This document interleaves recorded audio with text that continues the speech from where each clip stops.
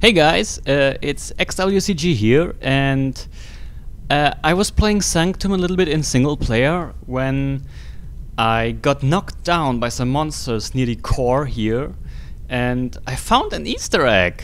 And it happens when you like you can jump down here, but I got knocked over by accident, and I landed on this platform. And when you walk forwards, you find a secret room.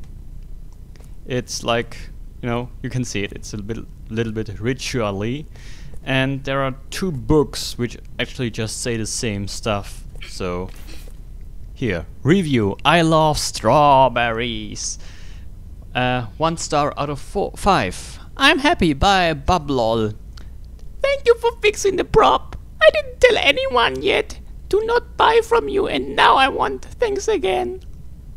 And there's something written here, TEP and like a 3 or a half finished heart.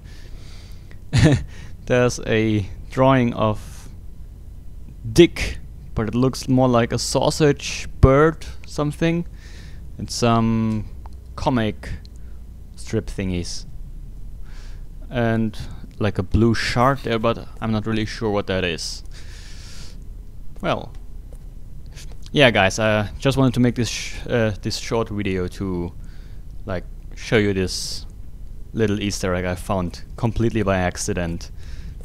And if you want to check it out at the core just jump down there and try to land on this platform. Thanks guys